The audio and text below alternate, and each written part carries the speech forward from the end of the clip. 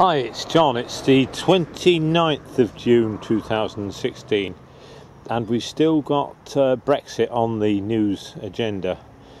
Now, one of the new things that I've just heard, which I hadn't thought of, is the threat of riot. That if you don't do the will of the people, you will get, uh, you could possibly get civil unrest.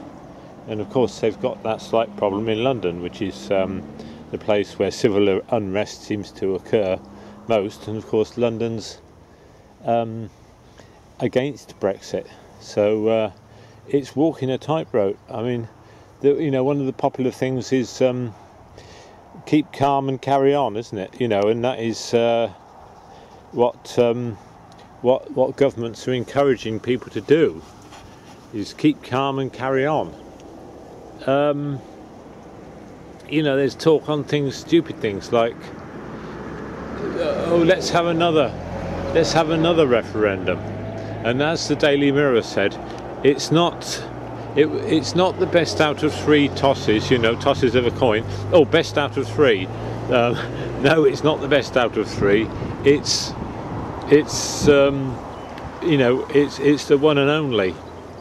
Uh, and even if I think they, even if they start sort of messing around about um, renegotiations and best of three and all that, which Europe doesn't actually seem very keen on, I think there's still the possibility of civil unrest.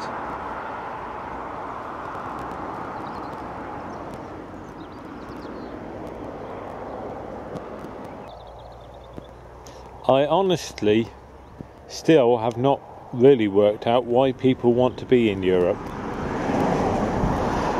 Um, maybe I'm naive. Well, I am naive, but why? Why do we? Why do people want to be in it?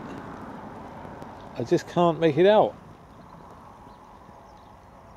Um, because making your own decisions is what life is about. And if you give all your deci decisions over to somebody else, you become like a, a more like a slave. Anyway, bye for now.